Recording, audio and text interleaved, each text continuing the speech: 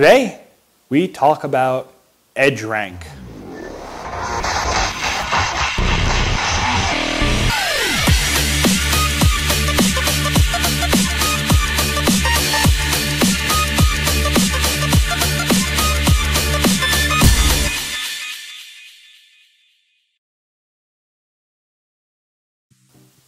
Hey, all you Coffee Talk fans, it's me, James Garlin, at the James Garlin on all social media. And today, as promised, I'm making this video exclusively for you talking about EdgeRank. Okay, well, that's not totally true. It is on my YouTube channel after all, but I'm not sharing it with anyone else. I've only shared it here in this group. Let's start off from the beginning. What is EdgeRank? EdgeRank is Facebook's algorithm designed to improve UX by eliminating irrelevant stories and improving user interaction through relevant, engaging posts, at the same time generating more revenue by helping businesses utilize their paid advertising. Huh? In basic terms, Facebook came up with a way to filter out all the boring, spammy, crappy posts so you and I can have more fun while we're scrolling through our feeds. So why did Facebook come up with EdgeRank to begin with? Why go through all this trouble? Well, there are many reasons, although you could argue the validity of some of those reasons depending on who you are. According to the website ebiz.mba, they released a study this month, January 2017, which shows that Facebook is still the number one social platform with over 1.1 billion unique visitors per month. With more and more usage, that means there's a lot more noise going into the feed. Among that 1.1 billion, are also a bunch of businesses who are continuously using Facebook to try and elevate their brand in the public eye and get their name out there. The flip side of EdgeRank is it can be used by Facebook to limit the organic reach of these businesses, basically forcing them to have to invest money in their sponsored advertising, generating more income for Facebook. Now, in order for me to be able to help y'all, or use guys, for all my friends back home in the north, I need to first describe how EdgeRank actually works. The EdgeRank algorithm assigns a unique score to each and every post that goes out on the Facebook feed from businesses and from individuals.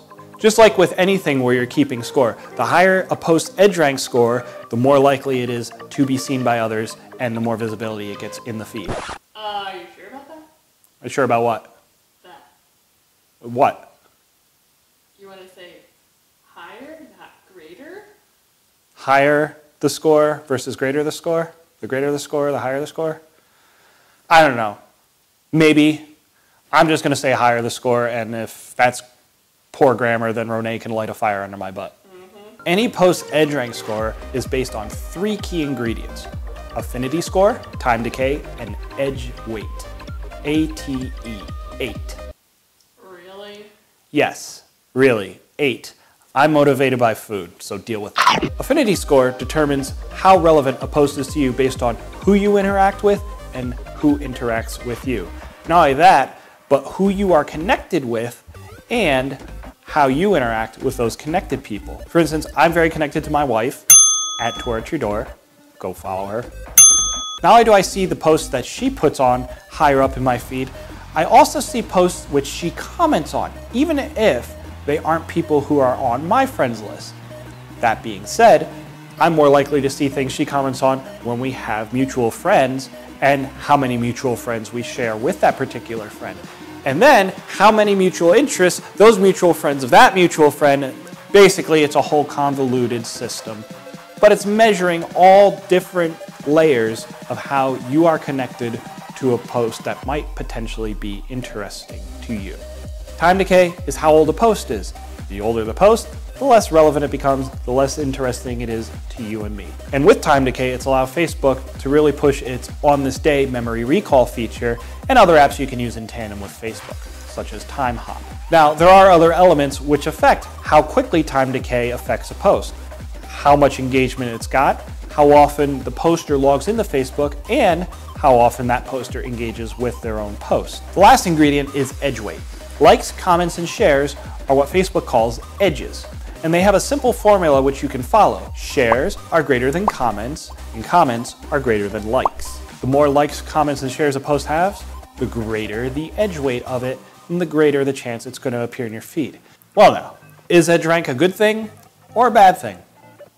To be perfectly honest, it depends. Come on. I know, real useful, isn't it?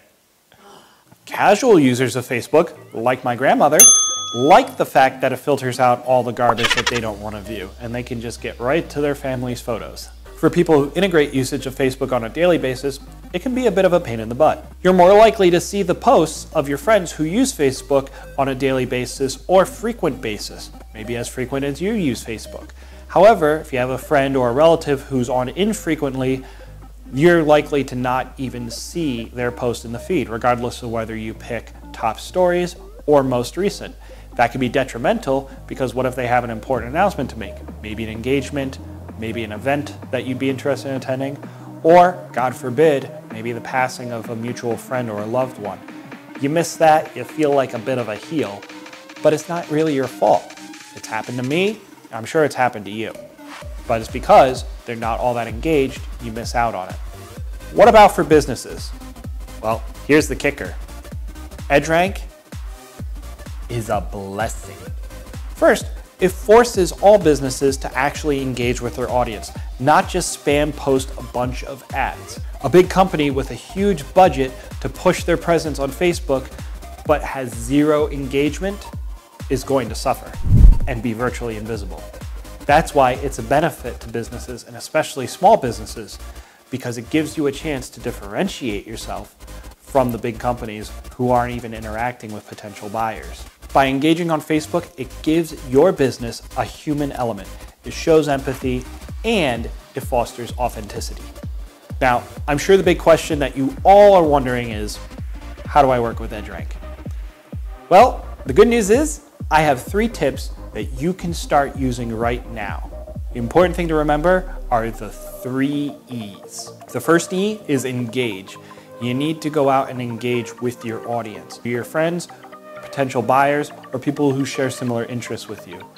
You need to have a conversation. When you see a post come up in your feed, like it, comment on it, read the article, ask a question, maybe challenge the information that's in the article. Self like your own posts. There's nothing wrong with that. That will help improve EdgeRank.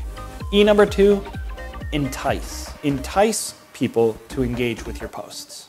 Put out posts which call people to engage with you. For instance, around Christmas time, how many of your friends or people you know posted, quote, all I want for Christmas is blank. Another example, which has been going on for past year and is still going on, is this one. Hey, let's play a game. Enter my name, and then with your autofill, click the middle word 15 times and post it to my wall. You can do other things. Have a poll, have a yes no, like for this, heart for that, or just ask a simple question. Anything that will actually force the reader or compel the reader to want to respond. The third E is entertain. Your posts have to be entertaining. I don't mean entertaining like they have to make people laugh all the time, but they need to be entertaining in the sense that they play to different people's interests and spark engagement. Notable author and businessman Gary Vaynerchuk has this awesome quote If you're going to interrupt people's entertainment, you must be entertaining. Now, I said that there are three steps that you can follow right there, the three E's. There's also a bonus tip. Remember a few moments ago when I mentioned Facebook's On This Day feature? Well, there's a way that you can game the system and improve your edge rank by utilizing that feature. Now, I'm not talking about sharing when an On This Day appears in your feed. What I am talking about is engaging with the post that is being referenced in that On This Day. Let's say it's an old photo that comes up. Go ahead and give it a self-like. You're gonna all of a sudden see other people start liking it. If it has some comments, go back in the feed and comment or reply to the comments that are there. Doesn't matter if the post is 1, 2, 3, 5, 10, 11 years old. If you engage with it, it's going to bump to the top of people's feeds, especially the people who may have interacted with it in the past. And that's it. That's the nuts and bolts of what EdgeRank is and how you can use it to your advantage. I sincerely hope that you found this video entertaining and useful and that as you start using these four tips, you'll find success and you'll find it working to your advantage for your business or your personal page on Facebook. How many people do you see waiting at the doctor's office, waiting at the DMV, waiting at the DMV, waiting at the DMV, waiting at... Any post EdgeRank score is determined by three key ingredients. I forgot what they were. Cinnamon, cardamom, rosemary. The EdgeRank algorithm, Al, L, Facebook came up with a way to filter. the flip side of EdRank, EdRank. Who's EdRank? That's rank. There's a chance that you might miss it, and then you feel like a complete doofus for missing it, and then you're stuck sitting at home eating cake, wallowing in the corner. Still, I'm hungry. Eight. In fact, actually, I think that would be that would be kind of funny. What if we told people go to the YouTube page and on on their mobile device, it won't work on the computer, right? No, they don't have autofill. So go on their mobile device and like see how many times they say like James Garlin and then hit that middle button 15 times. That would be really awesome. I want to see them do that. That would be cool.